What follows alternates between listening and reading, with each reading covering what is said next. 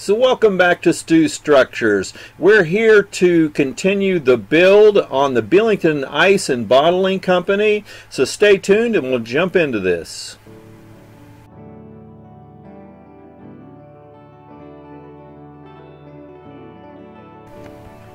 So welcome back to Stew's Structures. I am Mark Stewart and this is video 4 of the Belington Ice and Bottling Company. Uh, we'll see how far I can get in this. The last video was a little short.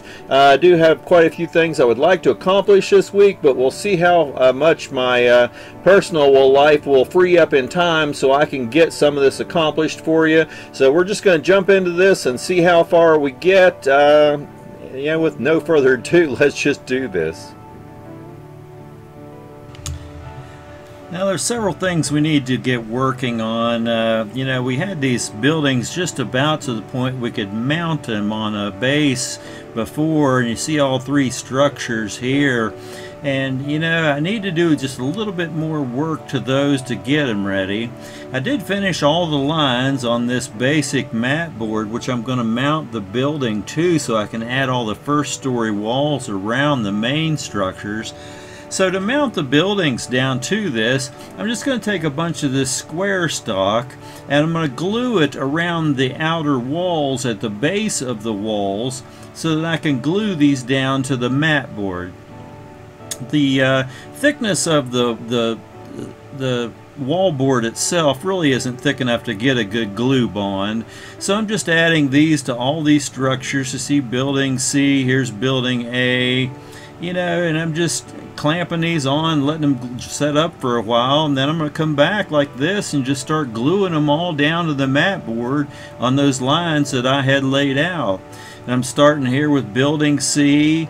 Now building B, you can see I did add a little bit of height to the building. Uh, when I made those corner posts, I made them a little short.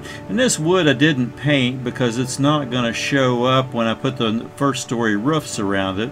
But then I come back and glue uh, building A to this. And uh, you know, now it's all one solid unit glued down to this base. Now there's a whole lot of work to do to all this yet and uh, you know now we got to start with these one-story walls. We have this little tiny wall between building A and C and I'm just going to come with the you know the same type of uh, clapboard siding board that I used for all the other buildings and it's going to be used for all these walls around the first story as well. So I go ahead and cut the two pieces that make that wall that go between building C and building A. Then it, the, you know the one side has a window in it, so I go ahead and lay that out and cut the window out as well. And while I'm painting all these, I want to do a bunch of these all at one time while I'm painting. So next wall I'm going to start with is this dock wall that's between A and B buildings. So I start off with, I cut the length and the height that I need to this, and then I'm just going to come back and lay out all the doors and windows in this. You know, it has one regular people door, a freight door, and two windows in this side, so we're just going to cut that out and lay that out. Now this other side, this is the only picture I have of this, but you can see there's six windows down this long side of this. And the building, but the room between building A and C, I shortened a good bit, so the windows are closer together when I lay out this wall and go ahead and cut these out. But now that I have four wall pieces, I'm just going to take them out and, uh, you know, spray paint all these white so I can get the color on the walls. And then I have basically four walls to start with.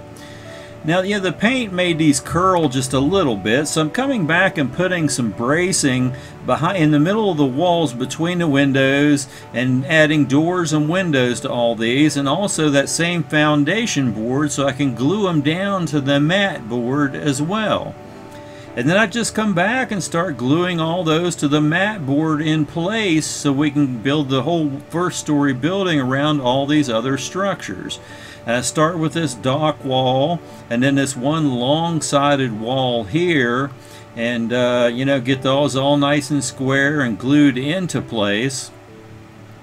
And then we need, you know, this real long back wall on this. And I don't have a good picture of this, but I know there's a regular door here and you know, kind of a freight door and a people door and a window. So anyway, I know the length, so I go ahead and cut it to length. Now this wall I am making a couple foot uh, taller than the other two uh, one-story walls that I previously glued down to the board. I'm sure you what I'm going to do to correct some of that situation later on. Uh, but you know, I go ahead and lay out the doors and windows, cut them out, and put white paint on it, and you know, then come back and mount the doors and windows into those openings. And after putting some of that same foundation, uh, you know, 4x4 lumber underneath the bottom of it and on top and you know a couple brace boards in the middle of the wall I go ahead and mount that to the board just the same as I did the other walls and you can see this is just a little taller than those other walls I'll explain why in a minute, but I'm going to go ahead and add that extra height to those other walls because I just you know, when I started looking at roof lines, the roof lines weren't going to work out right. That's why I made that other wall taller, and I'm coming back and adding this to that. And with this board I'm putting in place here for the roof line, it kind of gives an ex explanation as to why I did that. You know those first two walls that we cut out, now we're going to come back and add those on between building C and building A. And uh, you know that's that's most of the first story walls at this point in time and we basically have the whole structure in place around the buildings now I am going to go ahead and lay out uh, the roof on building 8 because remember this has a doghouse on top of it and initially I made these a little bit too steep so when I came back and glued all these uh, roof supports around the outside of the wall. I brought it down to the height I need. You can see the old line that was a little steep. I just cut a piece of mat board to make that roof out of. And this is just setting in there temporarily. But then I need to make the doghouse that goes up on the roof so there's access to this flat roof on this building. So I find a door and I just make the doghouse based on that door basically. You know, I hold the wood up inside that roof line and get the angles for the two long walls and go ahead and put paint on all that, cut the door out, go ahead and cut some corner posts for the building so I can glue the walls all together. And then I mount the door in the one end wall, glue the corner posts onto both the long walls, and then I can come back and glue the halves together. And then once that's done come back and glue the two halves and I have a whole structure. And you know this is just a good access up onto the roof of the building which does show in that one picture that I had and I'm just going to set it on that temporary roof for the time being here to kind of give me a, an idea of how it's going to work and set up on there and you know I, th I think it's going to work rather nice actually and it's going to replicate what was in that one picture so it's good. So there you have video 4 in the series of the Belington Ice House. You know, once again, I didn't get quite as far as I wanted to this week, but I got a good bit accomplished on the building, and I'm okay for no more time than I had to spend with it. I did get a lot accomplished in that amount of time. Uh, I was hoping to get further along with maybe getting some of the roofs mounted and all that, but you know, we'll have to start off with that in the next uh, session. I'm also heading to Virginia this week, so you know, I'm not sure exactly how the videos are going to work. I got to be down there for four, five, six days or so and I'm going to try to get everything done as quick as I can and get back. Um, I'm not sure if I'll be able to take the stuff with me and work while I'm there or not.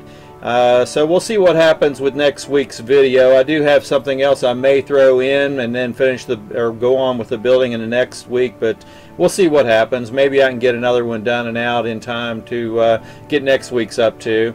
I'm really you know enjoying this build. I like this building. Uh, it was gone you know, 60 years before I was born. Uh, but it's just a really a nice structure and was really uh, a very important structure in the town that I model, even though it was a little previous to my era that I do model. But I wanted to include it in the layout. It was just a very historical building for the area, and you know, it adds a nice little small industry as a siding and uh, this did have a siding next to it. I'm not sure if they used it to ice off uh, wooden reefers back then or not. Uh, they very well may have. Uh, you know, a lot of these small towns did do a lot of uh, local icing and re-icing of cars. There wasn't a lot of produce in this town, so uh, you know the, the cars wouldn't have originated from here to go elsewhere, but they would have came through here to go to a lot of other smaller towns. So it's very possible that they could have stopped here to top off with ice so they could further go on to their destination. And anyway, thank you for coming back and sharing this time with me. I hope you're enjoying this build as much as I am. And I hope it's inspiring you to jump out there and uh, scratch build something for your model layout. Uh, that's why I'm sharing all this information to show people that it's not that complicated and you, you can really build anything that you want to build.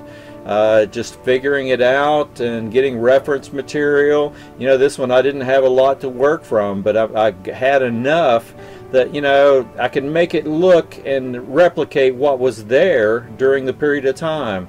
So uh, I'm going to be happy with it when it's done. It's going to be a nice little structure. So anyway, thanks once again for coming back and sharing this time with me. I do appreciate it. And uh, you know the key to all this is just happy model railroading.